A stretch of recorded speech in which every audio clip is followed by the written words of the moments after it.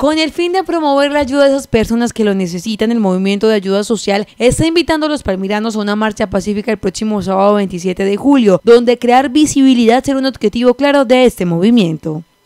Nosotros este próximo 27 de julio, si vamos a hacer una gran movilización en Palmira, la primera movilización netamente social que involucra ocho poblaciones, donde vamos a poder ayudar a, eh, a, gente en Palmira que está en estado de vulnerabilidad, como lo son los niños, los ancianos, las personas en situación de calle, las personas con drogodependencia, los animales, el medio ambiente, la población LGTBI.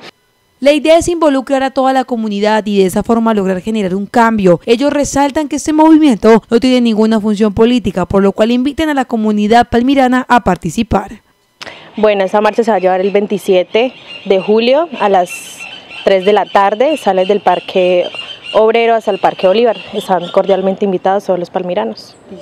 Todos los palmiranos interesados podrán acudir desde las 3 de la tarde al Parque Obrero, desde donde saldrá la marcha del Movimiento de Ayuda Social Palmira.